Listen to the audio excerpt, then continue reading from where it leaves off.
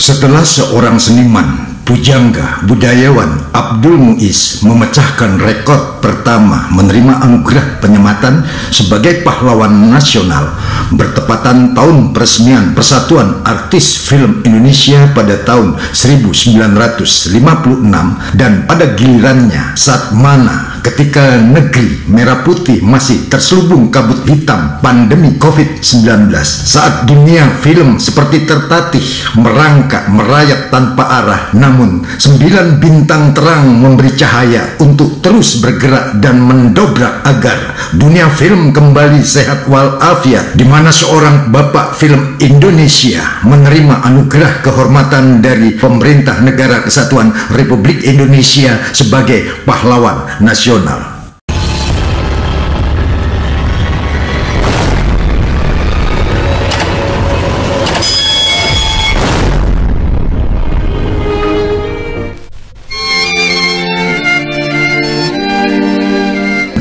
Sebelum jiwanya dicurahkan ke dunia film, beranjak dari sekolah rendah di Sumatera Barat, sudah keranjingan dengan tontonan film, terlebih ketika duduk di bangku SMA, semakin maniak nalurinya pada dunia film. Dialah Usmar Ismail yang di kemudian hari namanya mempesona mengharum seribu wangi bunga. Usmar Ismail kelahiran Bukit Tinggi 20 Maret 1921 setelah tamat HIS dan Mulo B di Sumatera Barat. Usmar Ismail melanjutkan sekolah ke Yogyakarta di AMS A2 jurusan Barat Klasik. Ia sempat menjejakkan kaki di kota Hollywood, studi pada jurusan film di Universitas California dan mendapat gelar BA pada tahun 1953.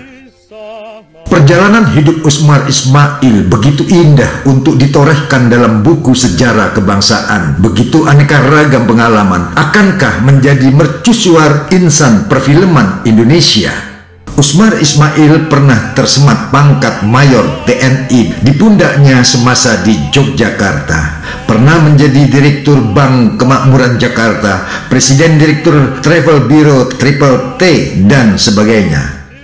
Dan yang lebih fenomenal lagi, di dunia film, Usmar Ismail mendirikan Perfini dan sekaligus sebagai ketua PBFI.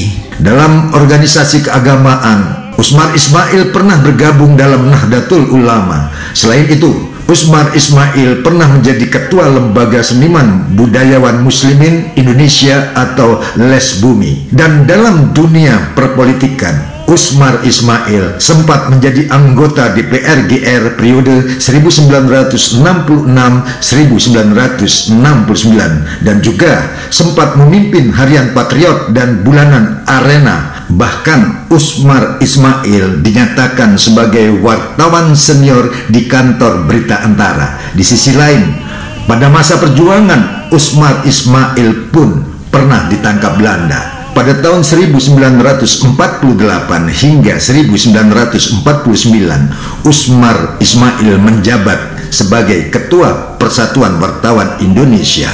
Pada tahun 1947, di bidang seni peran, Ketua Sandiwara Penggemar Maya, pendiri dan Ketua ATNI Jakarta. Usmar Ismail, sosok tokoh yang hebat, berkat tekad kerja keras sehingga dipercaya untuk menjadi pemimpin di berbagai bidang. Usmar Ismail memasuki dunia film setelah melanglang di dunia sastra sebagai penyair dan penulis cerita pendek di zaman Jepang. Sajak-sajaknya diterbitkan dengan judul Untung Berapa pada tahun 1949. Karya lakon dramanya dikumpulkan dalam Sedih dan Gembira tahun 1950. Usmar Ismail pun tercatat salah seorang dari generasi penutup menulis dalam gaya pujangga baru. Usmar Ismail lalu membuka jalur bagi pertumbuhan teater modern bersama El Hakim atau Dr. Abu Hanifah kakak kandungnya, Rosian Anwar sahabat sejak masa kecilnya, Cornel Simanjuntak yang kerap menyanyikan syair-syair Usmar Ismail, salah satunya lagu Citra